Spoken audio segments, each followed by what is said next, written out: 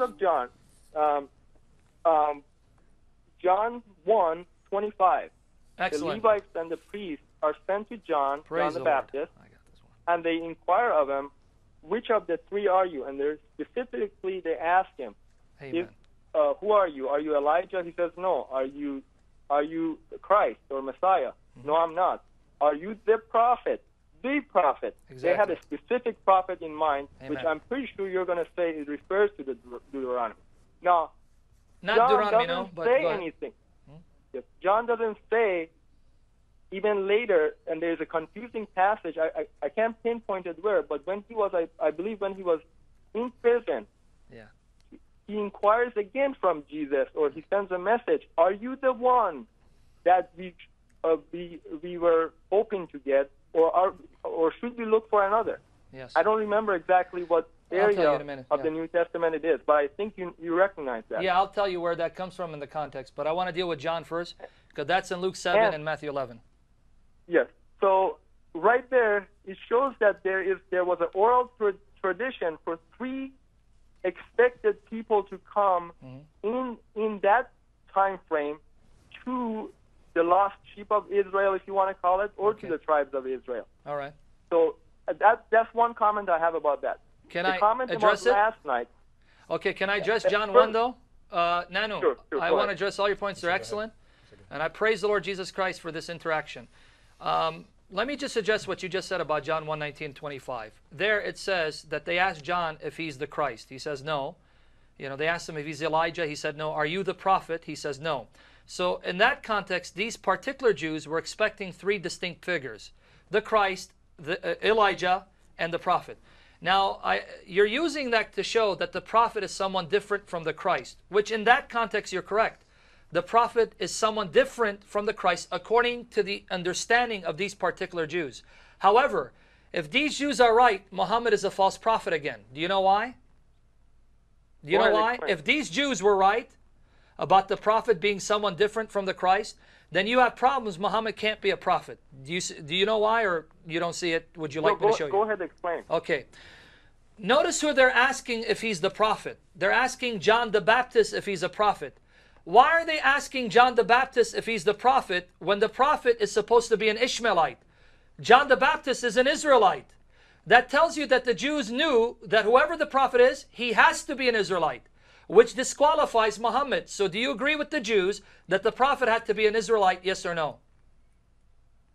I, I see your point, but the comment I have about that is the fact that maybe Jews knew of a person who will come later, but the identity of that person was hidden from them. Okay. And if God wanted to choose, as Quran says, God sends of His mercy to whoever He wants. Mm-hmm. So if God wanted to choose an Ishmaelite, then God had no problem doing that, and they were brothers. Brother, the seed of Ishmael and the seed of Isaac, they are brothers, regardless. So are the Edomites and, the, and Jacob's descendants. In fact, Deuteronomy 2.4 says that the Edomites are the brothers of Israel. But that's not the point. It's how the word is used in context. But again, if you're saying God can send an Ishmaelite, that's fine. But the Jews understood that the prophet is an Israelite.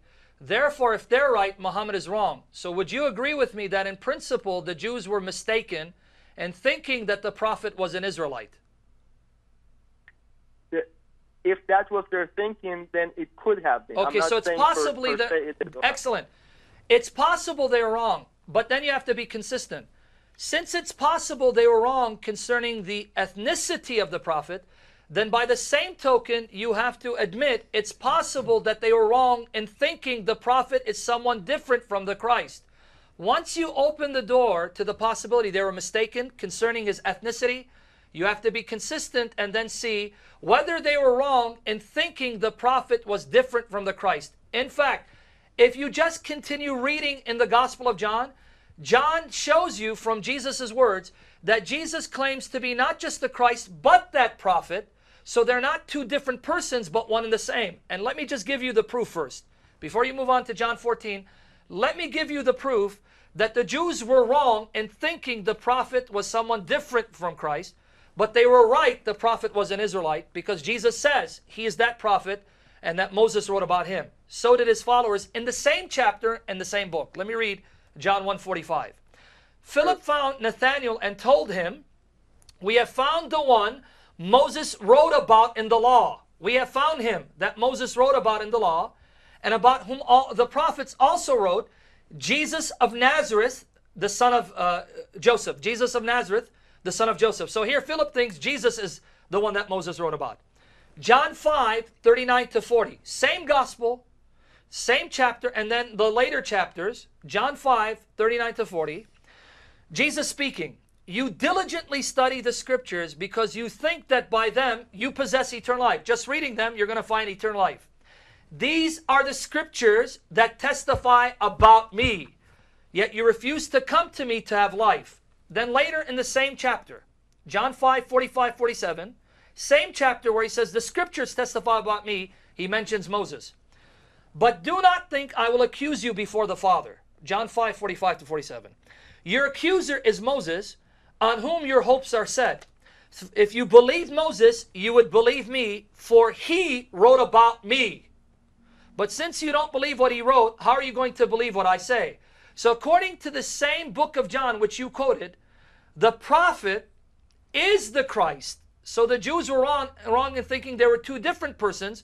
They're actually one and the same person. The Christ is the prophet, the prophet is the Christ. Final proof of that is John 6, 14 and 15. And then you can go on to John 14 or add some comments regarding this Um, data. John 6, 14, 15. After the people saw the miraculous sign that Jesus did, remember what we said earlier. To be a prophet like Moses, you must do miracles like Moses.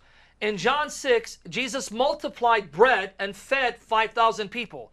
It says, when they saw that miracle, they began to say, Surely this is the prophet who was to come into the world.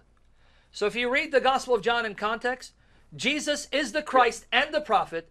So the Jews were wrong in, wrong in thinking the prophet was someone different from the Christ, but they were right that the prophet was an Israelite because that's what Jesus is. I I see your point. Now, my only comment, you made a very well uh, argument, but I want to move on.